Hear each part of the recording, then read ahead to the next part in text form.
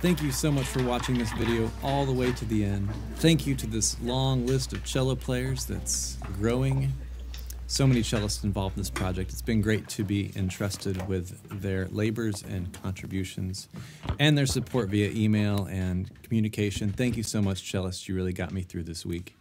Um, can't can't express that enough. Okay. So um, I also want to say special thanks to the cellist that contributed a solo on this uh, on this video. I really enjoyed listening to all the solos and uh, compiling them together. Thanks for your work.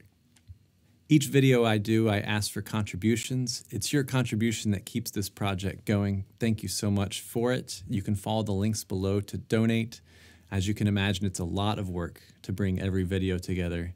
This project started out with 20 videos, and now we're up to almost 10 times that. So um, if you feel compelled to donate, please do so. It would help a lot. If you're a cellist and you want to be involved in the next project, uh, the first step is to send me an email. Drop me a line right here, tonyrogerscello at gmail.com.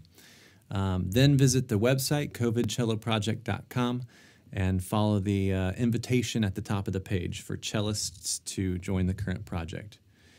It's a really simple process. It's all described online.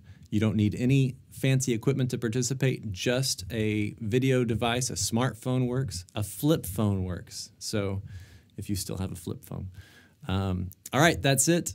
Thank you for your donations. Thanks for your interest in this project. Thank you, cellists. All right. Stay safe, everybody. Look forward to seeing you on the next COVID Cello project.